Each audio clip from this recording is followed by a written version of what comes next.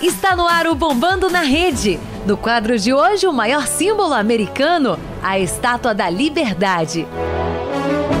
Na internet tem diversos vídeos mostrando como é incrível esse monumento. Alguns deles possuem mais de 200 mil visualizações.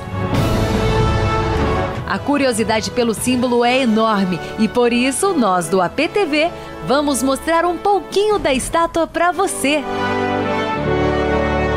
O nome verdadeiro é A Liberdade Iluminando o Mundo.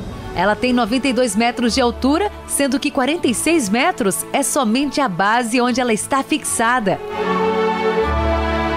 Esse presente foi entregue na comemoração do centenário da assinatura da Declaração da Independência dos Estados Unidos.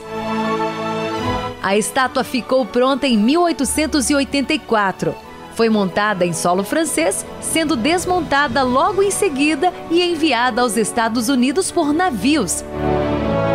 Dois anos depois, milhares de pessoas acompanharam a cerimônia de inauguração do monumento mais conhecido do mundo.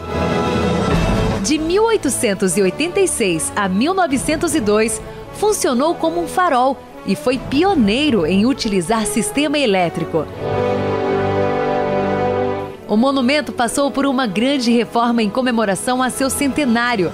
Foi feita a limpeza geral da estátua e a coroa foi substituída. Atualmente, o visitante pode conhecer por dentro a coroa. Olha só a visão! Lindo, não é?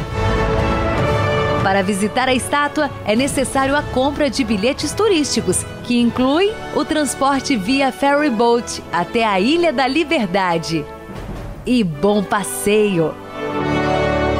O Bombando na Rede fica por aqui. Até semana que vem!